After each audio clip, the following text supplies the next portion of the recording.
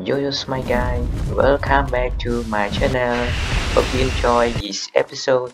Let's go.